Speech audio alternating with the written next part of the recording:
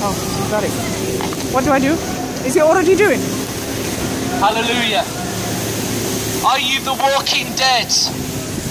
For the Bible says we are the walking dead if we do not have Jesus Christ in our life.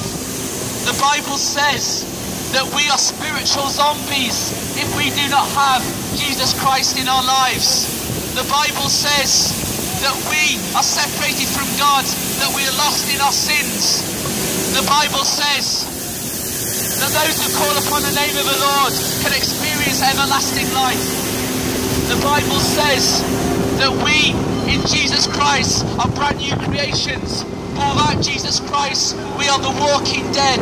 Without Jesus Christ, we are spiritual zombies. But in Jesus Christ, we have the life of God. Call upon the name of Jesus. Give your life to Jesus. Turn from the walking dead to the alive in God. For Jesus Christ is life eternal. Jesus Christ is life everlasting. Jesus Christ is a life of peace. Jesus Christ is joy everlasting and pleasures on the right hand of God forevermore. But we call upon the name of Jesus. We turn from the walking dead to, to the life in God. From in Jesus Christ, we will turn from that zombie-like life where we can have the life and joy and peace of God. Call upon the name of Jesus. Turn to Jesus Christ. No longer be the walking dead.